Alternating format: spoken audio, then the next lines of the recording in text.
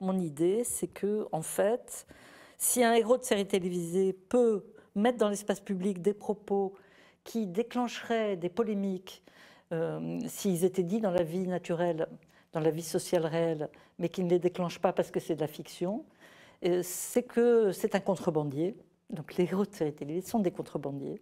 Et donc il faut peut-être imaginer des formes de critique qui soient adaptées à, ce qu'ils font. Et donc il faut lever leur immunité fictionnelle et il faut débattre avec eux. D'où la nécessité de les constituer comme des partenaires et d'où la nécessité, que j'ai déjà évoquée tout à l'heure, d'en faire des quasi-acteurs sociaux et de les intégrer dans la réalité sociale et de les imaginer comme des partenaires avec lesquels on peut débattre. Et d'où cette nouvelle théorie de la fiction dans laquelle c'est pas qu'il n'y a pas une séparation entre réalité et fiction, il y en a une, mais elle est variable. les gens ne la mettent pas au même endroit en fonction de leur expérience et en fonction de leur encyclopédie, c'est-à-dire de ce qu'ils savent et de ce qu'ils ont vécu.